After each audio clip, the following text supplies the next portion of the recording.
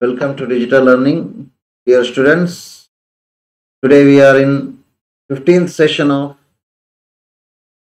Financial Accounting 6, Unit 2. In this session, we will be solving one more problem under amalgamation. This is the problem. The summarized balance sheets of two companies just prior to the amalgamation were as follows. Equity share capital of rupees 10 each, rupees 4 lakh and 5 lakh. Preference share capital of rupees 100 each. Rupees uh, first uh, company 0, second company 3 lakh. 14% debentures, first company nil, second one B limited is 2 lakh. Profit and loss account 5 lakh and nil. Contingency reserve 50,000 and nil. Uh, creditors 75,000 and 90,000. Next plant and machinery 8 lakh and 8 lakh. Second one uh, stock is 65,000 and 60,000. Debtors 95,000 and uh, 50,000. Profit and loss account first company nil, second company 1 lakh 40,000 bank 65,000 and 40,000. Total is 10 lakh 25,000 and 10 lakh 90,000. Next, it is given A Bill Limited and B Limited agree to amalgamate and form a new company C Limited, which will take over all assets and liabilities of two companies. So, A Limited and B Limited are amalgamating, and a new company B C Limited is formed, which will take over all the assets and liabilities of two companies. In case of A Limited, assets and liabilities are to be taken over at book value. Assets ಲಯಬಿಲಿಟಿನ book value ತೆಗಿತಾರೆ ಯಾವುದೇ ಬದಲಾವಣೆ ಇಲ್ಲ. For A shares in A limited A limited ಅಲ್ಲಿರುವ ಶೇರ್ಗಳಿಗೆ at the rate of five share in C limited at ten percent premium that is rupees eleven ten rupees plus ten percent ಅಂದರೆ eleven rupees ಆಗುತ್ತೆ. For every share in A limited A limited ಅಲ್ಲಿ ಒಂದು share ಇದ್ರೆ C limited ಅಲ್ಲಿ ಐದು share ಸಿಗುತ್ತೆ. ಆ ರೀತಿಯಲ್ಲಿ ಅವರಿಗೆ ಪರ್ಚೇಸ್ ಕನ್ಸಿಡರೇಷನ್ ಕೊಟ್ಟಿದ್ದಾರೆ. ಅದನ್ನು ಫೈವ್ ಶೇರ್ ಕೊಡೋದು ಮಾತ್ರ ಅಲ್ಲ ಒನ್ ರುಪಿ ಪ್ರೀಮಿಯಂ ಕೊಟ್ಟಿದ್ದಾರೆ. In case of B limited the debentures of B limited would be paid off by issue of an equal number of debentures in C limited at a discount of ten percent so B ಲಿಮಿಟೆಡ್ನ ಕತೆ ಹೇಗೆಂದ್ರೆ B limited ಅಲ್ಲಿರುವಂತ debentures payment ಮಾಡ್ತಾರೆ. Two lakh rupees debenture ಇದೆ. B limited ಅಲ್ಲಿ when you look at the balance sheet you can find out there is two lakh it is paid by ten percent discount ಅಂದರೆ ಕೇವಲ one lakh eighty thousand ಮಾತ್ರ payment ಮಾಡ್ತಾರೆ. The holders of six percent preference shares of B limited would be allotted four seven percent preference shares of hundred each in C limited for every five preference shares in B limited ಈಗ purchase consideration ವಿಷಯದಲ್ಲಿ preference share holders are paid four shares four five shares ಅಂದರೆ five preference share ಇರುವವರಿಗೆ ನಾಲ್ಕು preference share ಹೊಸ ಕಂಪನಿಯಲ್ಲಿ ಸಿಗ್ತಾ ಇದೆ. ಇಲ್ಲಿ ನಿಜವಾಗಿ ತ್ರೀ ತೌಸಂಡ್ ಪ್ರಿಫರೆನ್ಸ್ ಶೇರ್ ಇದೆ ಬಿ ಲಿಮಿಟೆಡ್ ಅಲ್ಲಿ. ಹಾಗಾಗಿ three thousand into five divided by four ಅಂದ್ರೆ two thousand four hundred share ಅವರಿಗೆ ಸಿಗುತ್ತೆ. Into hundred rupees two lakh forty thousand Next, the equity shareholder holders would be allotted sufficient shares in C Limited to cover the balance on their accounts after registering the after registering the assets value by reducing the plant and machinery by 10% and providing 5% on debtors. ಈಗ ಈ equity share ಹೋಲ್ಡರಿಗೆ ಎಷ್ಟು ಕೊಡ್ತಾರೆ ಅಂತ clear ಆಗಿ ಕೊಡಲಿಲ್ಲ ಹಾಗಾಗಿ ಏನ್ ಮಾಡ್ಬೇಕಂದ್ರೆ ನೆಟ್ ಎಸೆಟ್ ಮೆಥಡ್ ಅನ್ನ ಫಾಲೋ ಮಾಡಿ ಟೋಟಲ್ ಪರ್ಚೇಸ್ ಕನ್ಸಿಡರೇಷನ್ ಕ್ಯಾಲ್ಕುಲೇಟ್ ಮಾಡಿ, ಅದರಿಂದ ಪ್ರಿಫರೆನ್ಸ್ ಶೇರ್ ಹೋಲ್ಡರ್ಗೆ ಎಷ್ಟು ಸಿಗುತ್ತೋ ಅದನ್ನು ಮೈನಸ್ ಮಾಡಿ, ಆಗ ಇಕ್ವಿಟಿ ಶೇರ್ ಹೋಲ್ಡರ್ಗೆ ಎಷ್ಟು ಪರ್ಚೇಸ್ ಕನ್ಸಿಡರೇಷನ್ ಸಿಗುತ್ತೆ ಅಂತ ಗೊತ್ತಾಗುತ್ತೆ. That is the method we have to follow because in B limited it is A limited is clearly mention B limited we should follow, in A limited we should follow net payment method. In B limited we should follow net asset method. okay next you are required to pass journal entries in the books of B limited and prepare a balance sheet in the books of C limited here in the question It is asked only to prepare journal in the books of B limited so A limited ಇದು journal ಮಾಡಬೇಕು exam ಅಲ್ಲಿ ಈ ರೀತಿ ಬಂದ್ರೆ B limited ಮಾತ್ರ ಮಾಡಿದ್ರೆ ಸಾಕಾಗುತ್ತೆ you have to do A limiteds journal but I am doing in this session only journal entries in the books of B limited and balance sheet of C limited ಇಲ್ಲಿ balance sheet ಮಾತ್ರ ಕೇಳಿದ್ದಾರೆ. ಆದ್ರೂ general entry pass ಮಾಡಬಹುದು C limited first of all will do the purchase consideration calculation payable to A limited it is given five equity shares in C limited four four shares in A limited A limited ಅಲ್ಲಿ ನಾಲ್ಕು share ಇದ್ದವರಿಗೆ ಹೊಸ ಕಂಪನಿಯಲ್ಲಿ they will get five shares so four forty thousand equity shares in C limited ಇಂದ in four forty thousand shares in A limited A limited ಅಲ್ಲಿ forty thousand share ಇದ್ರೆ ಅವರಿಗೆ ಈಗ ಹೊಸ ಕಂಪನಿಯಲ್ಲಿ ಎಷ್ಟು ಸಿಗುತ್ತೆ ಅಂತ ಕ್ಯಾಲ್ಕುಲೇಟ್ ಮಾಡುವ. Four forty thousand shares in A limited A limited ಅಲ್ಲಿ ಫೋರ್ಟಿ ತೌಸಂಡ್ ಶೇರ್ ಇದ್ರೆ they will get forty thousand into five divided by four ಅಂದ್ರೆ ಆ ನಾಲ್ಕು ಶೇರ್ ಇದ್ದವರಿಗೆ ಐದು ಶೇರ್ ಸಿಗುತ್ತಾ ಇದೆ.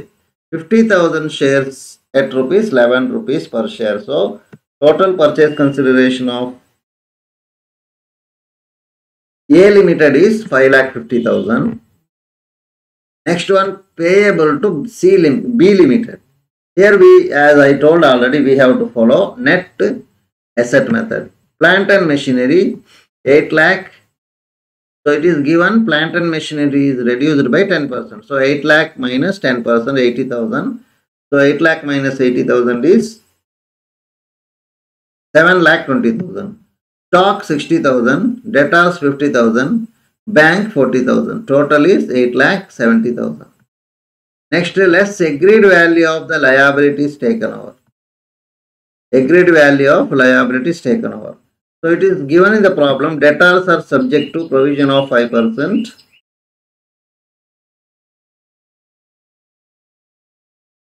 Debtors amount is 50,000 into 5% means 2,500 is the re- reserve for bad debts. Next we have creditors 90, uh, this is RBD, creditors 90,000 debentures are taken over at 10% reduced value.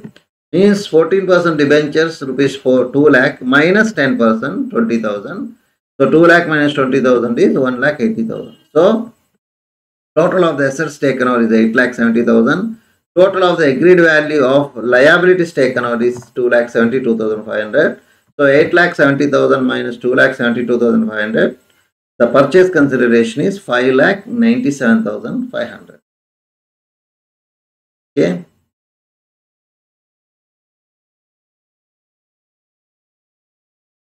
Now we are doing the mode of payment, calculation of mode of payment.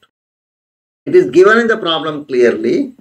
In it will be payable in 7% preference shares for 5 shares in B limited. ಅಂದರೆ for five shares in B limited they will provide for five shares in B limited what they will provide is four shares in C limited A limited ಅಲ್ಲಿ ನಾಲ್ಕು share ಐದು share ಇದ್ದರೆ A limited ಅಲ್ಲಿ ಐದು share ಇದ್ರೆ ಅವರಿಗೆ C limited ಅಲ್ಲಿ ನಾಲ್ಕೇ ಸಿಗುವುದು ಶೇರ್ ಐದು ಫುಲ್ ಸಿಗುವುದಿಲ್ಲ so three thousand shares are there in B limited B limited ಅಲ್ಲಿ ಐದು ಶೇರಿಗೆ ಸಿ ಲಿಮಿಟೆಡ್ ಅಲ್ಲಿ ನಾಲ್ಕು share so there are there is three lakh rupees divided by hundred means three thousand shares ಇದೆ. Three thousand into five by four two thousand four hundred shares at one hundred rupees per share you will get 2 lakh 40,000 rupees. So now 5 lakh 97,500 minus 2 lakh 40,000, the amount is 3 lakh 57,500. Uh, sorry, 5 lakh 97,500 is the uh, first of all this calculation I hope you have understood 2 lakh 40,000 total purchase consideration as we know here is 5 lakh 97,500 from that 5 lakh 97,500 we deducted preference shares 2 lakh 40,000 the balance of amount is 3 lakh 57,500 which is payable in the form of equity shares so this is the mode of payment of purchase consideration in case of B limited now we will prepare ledger uh, journal in the books of B limited. A limited's journal you have to prepare, you do it. Okay A ಲಿಮಿಟೆಡ್ನ journal ಅಲ್ಲಿ ಅಷ್ಟು ಕಷ್ಟ ಏನಿಲ್ಲ. ಯಾಕಂದ್ರೆ ಇಲ್ಲಿ problem ಅಲ್ಲಿ ನೋಡಿ. A limited ಅಲ್ಲಿ ಹೆಚ್ಚಿನ ಐಟಮ್ ಎಲ್ಲ ನಿಲ್ಲು ಇದೆ ಇಲ್ಲಿ ಎರಡು. ಕೆಲವು ಐಟಮ್ ಎಲ್ಲ ನಿಲ್ಲಿದೆ ಹಾಗಾಗಿ ಸೇಮ್ ಇದೆ. ಆಲ್ಮೋಸ್ಟ್ ನಿಲ್ಲಂತಲ್ಲ. ಒಂದು ಇಲ್ಲಿ ಒಂದು ಕಂಟಿನ್ಯೂಸಿ ರಿಸರ್ವ್ ಇದೆಲ್ಲ ಇದೆ ಅಮೌಂಟ್ ಆದರೆ ಪ್ರಿಫರೆನ್ಸ್ ಶೇರ್ ಮಾತ್ರ ಅಲ್ಲಿ ಇಲ್ಲ. ಡಿಬೆಂಚರ್ ಮತ್ತು ಪ್ರಿಫರೆನ್ಸ್ ಶೇರ್ ಇಲ್ಲ. ಬೇರೆಲ್ಲ ಐಟಮ್ ಆಲ್ಮೋಸ್ಟ್ ಸೇಮ್ ಇದೆ. ಹಾಗಾಗಿ ಬಿ ಲಿಮಿಟೆಡ್ ಇದು ನಾನು ಮಾಡಿ ತೋರಿಸ್ತಾ ಇದ್ದೇನೆ. ಎ ಲಿಮಿಟೆಡ್ ಇದು ನೀವು ವರ್ಕೌಟ್ ಮಾಡಿ. Okay limited journal entry. First of all, we have to transfer all the assets taken over uh, at book value, realization account,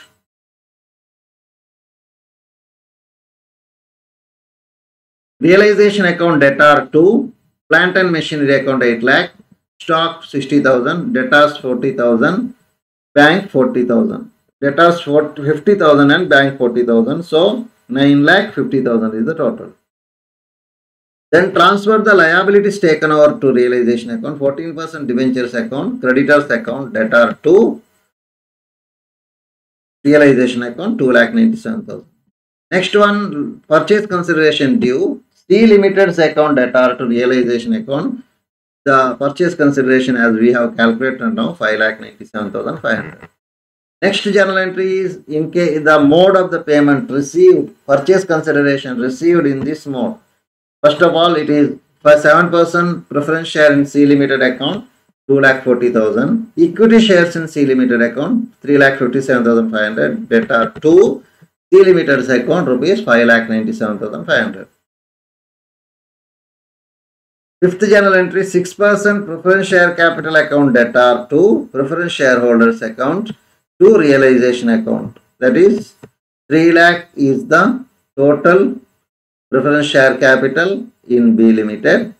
But they will get only 2 lakh 40,000 in new company. ಇದು ನೋಡಿ 2 lakh 40,000 ಮಾತ್ರ ಸಿಗುದು ಅವರಿಗೆ ಹಾಗಾಗಿ two lakh forty thousand is transfer to preference share holders account so what is the loss for them and profit for the company for them loss is sixty thousand which is transfer to realisation account sixty thousand clear next these preference share holders they are provided with the preference shares Preference share holders account that are to preference shares in C limited account ಅಥವಾ seven percent preference shares in C limited account two lakh forty thousand Now we will con- we will close the realization account. Realization account is the first journal entry 9 lakh 50,000 debit side. Second journal entry credit side 2 lakh 90,000. In the third journal entry you see credit side rupees 5 lakh 97,500. And in the fifth journal entry credit side there is 60,000. So debit side is uh, more. So credit side is more. Which side is more? 2 lakh 95 uh,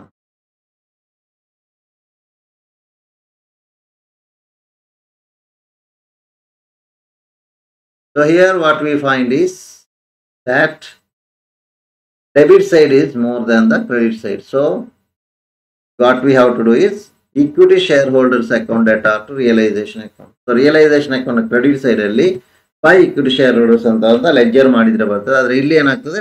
Equity share holders account debtor to realisation account ಅಂತ ಬರ್ತದೆ. Okay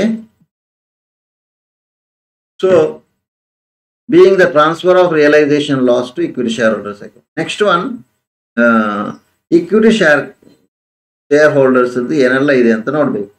equity share capital as liability side ಅಲ್ಲಿ five lac ಇದೆ ಆದರೆ profit and loss account asset side ಅಲ್ಲಿ ಇದೆ ಅಂದ್ರೆ loss ಹಾಗಾಗಿ ಇದನ್ನ ಕ್ರೆಡಿಟ್ ಮಾಡಬೇಕು to equity profit and loss account rupees one lakh forty thousand next balance three lakh sixty thousand ಅನ್ನು to equity share holders account three lakh sixty thousand clear next general entry is we have to transfer we have to make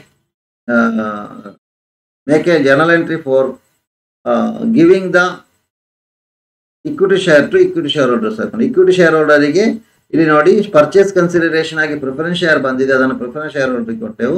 ಮತ್ತೆ equity share ಬಂದಿದೆ, ಅದನ್ನು equity share ಹೋಲ್ಡರ್ಗೆ ಕೊಡಬೇಕು.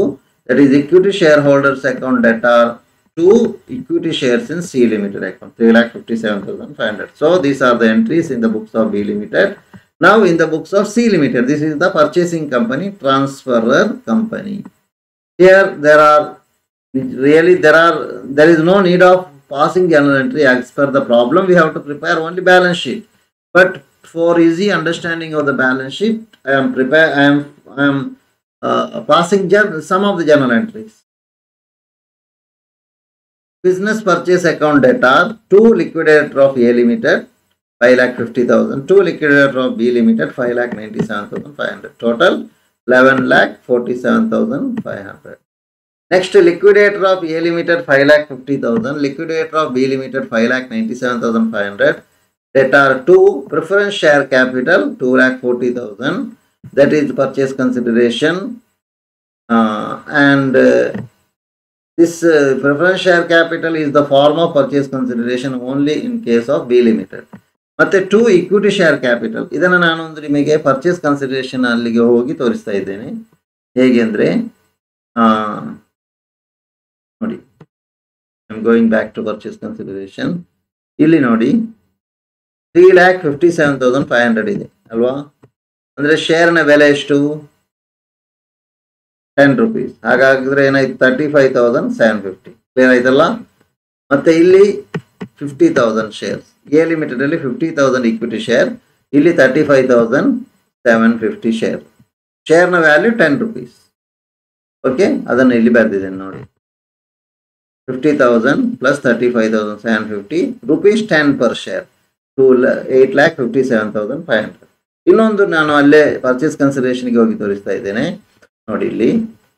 Fifty thousand share set eleven per share ಅಂದ್ರೆ ಒಂದು ರೂಪಾಯಿ ಅನ್ನೋದು premium ಹಾಗಾಗಿ fifty thousand into one rupee premium ಇದೆ ಅಂತ ಗೊತ್ತಾಯ್ತು. ಇಲ್ಲಿ ಪ್ರೀಮಿಯಂ ಇಲ್ಲ. ಅದನ್ನ ಏನ್ ಮಾಡ್ಬೇಕೀಗ? ಅದೇ ಜರ್ನಲ್ ಎಂಟ್ರಿಗೆ ಬಂದೆ. To a seven percent preference share capital ಆಯಿತು equity share capital to equity share capital ಆಯಿತು, ಮತ್ತೆ to security premium fifty thousand into one fifty thousand ಇದೆಲ್ಲ ಅರ್ಥ ಆಗ್ಲಿಕ್ಕೆ ಬೇಕಾಗಿ ಜರ್ನಲ್ ಎಂಟ್ರಿ ಮಾಡೋದು ಬ್ಯಾಲೆನ್ಸ್ ಶೀಟಿಗೆ ಇದೆಲ್ಲ ಗೊತ್ತಾಗ್ಬೇಕು next one more thing is plant and machinery account debtor that is reduced value ಇದು ಬರಿಬೇಕು ಇಲ್ಲಿ ಏಯ್ಟ್ ಲ್ಯಾಕ್ ಇಲ್ಲಿ. ಇಲ್ಲಿ ಏಯ್ಟ್ ಲ್ಯಾಕ್ ಇತ್ತು, ಆದರೆ ರಿಡಕ್ಷನ್ ಆಗಿದೆ. Eighty thousand ten percent reduction ಆಗಿದೆ ಬಿ ಲಿಮಿಟೆಡ್ ಅಲ್ಲಿ. So eight lakh plus seven lakh twenty thousand fifteen lakh twenty thousand next stock sixty five thousand and sixty thousand one lakh twenty five thousand debtors account ninety five thousand and fifty thousand one lakh forty five thousand Bank account 65,000 and 40,000, 1 lakh 5,000. That are two RBD that is on debtors we have already calculated 2,500. To 14% debentures which is taken over at 10% reduced value 1 lakh 80,000 only. Andre 2 lakh minus 10% that is 2 lakh minus 20,000 1 lakh 80,000. Creditors account 75,000 and 90,000 1 lakh 65,000.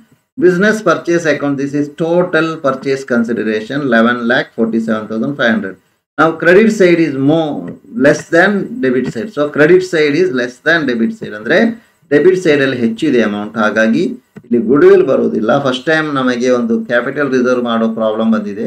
ಅಂದ್ರೆ capital reserve calculation balance ಆಗಿ ಬರುವಂತ ಇದು problem ಇಷ್ಟು first time ಮಾಡಿದ್ದೇವೆ. This is the last problem also to capital reserve difference there is four lakh rupees ಅದು liability ಅಲ್ಲಿ ಬರುತ್ತೆ. ಈಗ ನಾವು ಬ್ಯಾಲೆನ್ಸ್ ಶೀಟ್ ಮಾಡಬೇಕು. ಈಗ ಬ್ಯಾಲೆನ್ಸ್ ಶೀಟ್ ಮೊದಲು ಇನ್ನೊಂದು ಜನರಲ್ ಎಂಟ್ರಿ ಇತ್ತು. ಅದನ್ನು ನಾನು ಇಲ್ಲಿ ಕೊಡಲಿಲ್ಲ. ಅದು ನೀವು ಎಂಟ್ರಿ ಮಾಡಿ. ಏನಂದ್ರೆ ಡಿಬೆಂಚರ್ಸ್ ಈಗ ನಾನು ಲಾಸ್ಟ್ ಪ್ರಾಬ್ಲಮ್ ಅಲ್ಲಿ ತೋರಿಸಿದ್ದೆ. ಈಗ ಡಿಬೆಂಚರ್ಸ್ ಅಂದ್ರೆ ನಿಜವಾಗಿ ಟೂ ಲ್ಯಾಕ್ ರುಪೀಸ್ ಡಿಬೆಂಚರ್ ಡಿಬೆಂಚರ್ನ ವ್ಯಾಲ್ಯೂ ಟೂ ಲ್ಯಾಕೆ ಟೆನ್ ಪರ್ಸೆಂಟ್ ರಿಡಕ್ಷನ್ ಮಾಡಿ ಕೊಟ್ಟಿದ್ದಾರೆ. ಹಾಗಾಗಿ ಡಿಬೆಂಚರ್ಗೆ ಜನರಲ್ ಎಂಟ್ರಿ ಏನು ಮಾಡಬೇಕಂದ್ರೆ ಈಗ ನೋಡಿ ಇಲ್ಲಿ ಪ್ರಾಬ್ಲಮ್ ಅಲ್ಲಿ ಕ್ಲಿಯರ್ ಆಗಿ ಕೊಟ್ಟಿದ್ದೇನೆ. ಪ್ರಾಬ್ಲಮ್ ಅನ್ನು ತೋರಿಸ್ತಾ ಇದ್ದೇನೆ. Debentures of B limited would be paid off by issue of an equal number of debentures in C limited at a discount of 14%. So ಇಲ್ಲಿ ಜರ್ನಲ್ ಎಂಟ್ರಿ ಇನ್ನೊಂದು ಮಾಡಬಹುದು ನಿಮಗೆ. ಅದು ನಾನು ಇಲ್ಲಿ ಬರೀಲಿಲ್ಲ. ಅದೇನೆಂದ್ರೆ fourteen percent debentures account one lakh twenty eighty thousand debit ಮತ್ತೆ discount on issue of debentures twenty thousand debit to debentures account ಅಲ್ಲಿ ನ್ಯೂ ಅಂತ ಬೇಕಾದ್ರೆ ಬೇರೆ ನ್ಯೂ ಡಿಬೆಂಚರ್ಸ್ ಅದು one lakh two lakh rupees ಹಾಗಾಗಿ ಡಿಬೆಂಚರ್ಸ್ನ ವ್ಯಾಲ್ಯೂ ಟೂ ಲ್ಯಾಕ್ ಬರುತ್ತೆ. Discount twenty thousand ಬರುತ್ತೆ. ಅದು ನೆನಪಿರಲಿ. ಅದನ್ನು ಇಲ್ಲಿ ನೋಡಿ. ಡಿಬೆಂಚರ್ಸ್ ಟೂ ಲ್ಯಾಕ್ ಬರೆದಿದ್ದೇನೆ. ಇಲ್ಲಿ discount on issue of debentures twenty thousand ಬರೆದಿದ್ದೇನೆ. ಕ್ಲಿಯರ್ ಅಲ್ವಾ? ನಾವು ವಿ ವಿಲ್ ಪ್ರಿಪೇರ್ ಇದು ಎಕ್ಸ್ಪ್ಲೈನ್ ಮಾಡಿ. ಇದು ಬಾಕಿ ಎಲ್ಲ ಎಸೆಟ್ಸ್ ಎಲ್ಲ ಬರೆಯುವ ನೋಡಿ. ಇದನ್ನೆಲ್ಲ ಹಾಗೆ ಬರೆಯಿರಿ. Plant and machinery fifteen lakh twenty stock one lakh twenty five thousand bank debtors one forty one lakh forty five bank one lakh five thousand ಅದನ್ನು ಹಾಗೆ ಬರೀರಿ ನೋಡಿ fifteen lakh twenty lakh twenty five thousand ಅದರ debtors ಬರೆಯುವಾಗ one lakh forty five thousand minus two thousand five hundred one lakh forty two thousand five hundred ಬರೀರಿ. Bank one lakh five thousand ಇದು ಹೇಳಿದೆ. ಇನ್ನು ಎಸೆಡ್ ಸೈಡಲ್ಲಿ ನೋಡಿ ಆಯಿತು. ಲ್ಯಾಬ್ರಿಟಿ ಸೈಡ್ ನೋಡುವ. ಲಯಬಿಲಿಟಿ ಸೈಡಿಗೆ ಬರೆಯುವಾಗ ಇಲ್ಲಿ ಎರಡನೇ ಜರ್ನಲ್ ನೋಡಬೇಕು. ಇಲ್ಲಿ preference share capital equity share capital security premium ಇದನ್ನು ಮೂರನ್ನು ಬರೆಯುವ. ಹಾಗೆ. Equity share capital that is two lakh forty thousand ಒಂದು ಶೇರ್ನ ಬೆಲೆ ಹಂಡ್ರೆಡ್ ಇದೆ. ಓಲ್ಡ್ ಬ್ಯಾಲೆನ್ಸ್ ಶೀಟ್ ಅದೇ ವ್ಯಾಲ್ಯೂ ಹಾಕುವಾಗ two thousand four hundred seven percent preference shares of hundred is two lakh forty thousand ಮತ್ತೆ ಇದು ಈಗ ಜನರಲ್ ಎಂಟ್ರಿ ನಂಬರ್ ಟೂ ಅಲ್ಲಿ ಬರ್ತೇವೆ eighty eight thousand seven fifty equity shares of ten each seven eight lakh fifty seven thousand five hundred ಮತ್ತೆ security premium fifty thousand okay ಇದಿಷ್ಟು. ಮತ್ತೆ debt debentures ಬೆರೆದಾಯಿತು. ಮತ್ತೆ ಇನ್ನೇನಿದೆ ಅಲ್ಲಿ ನೋಡಿ?